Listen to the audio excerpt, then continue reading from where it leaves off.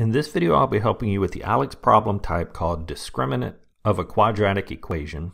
And to start, we'll recall the quadratic formula that says where we have a x squared plus bx plus c equals 0, the quadratic formula says that solutions will be of the form x equals negative b plus or minus the square root of b squared minus 4ac all over 2a.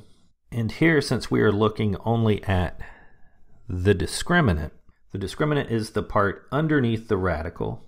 So our discriminant is just b squared minus 4ac. And when we calculate the discriminant, if this turns out to be a positive number, then we'll be able to take the square root of a positive number.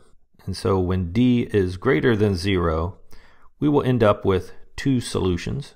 If the discriminant turns out to be 0, then we're adding and subtracting the square root of 0. Adding and subtracting 0 isn't going to change anything, so we would only then end up with one solution.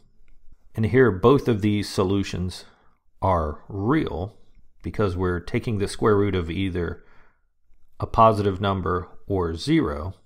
However, if the discriminant is less than zero, if it's negative, then we would be taking the square root here of a negative number, and that would give us complex numbers. So here we would have two complex solutions. Since we're only asked here to identify the number of real solutions. Real solutions will be either 2, 1, or 0 in the event that we have a negative discriminant. And for this example, we have an A of negative 2, a B of 9, and a C of negative 3. Substituting in to find the discriminant, we have d equals b squared. b is 9, so 9 squared would give us 81, minus 4 times a, which is negative 2, times c, which is negative 3.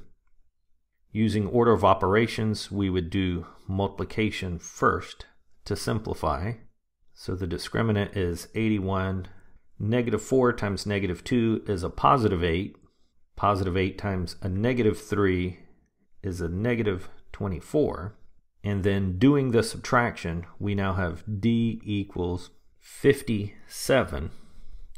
And the important thing is that d is positive.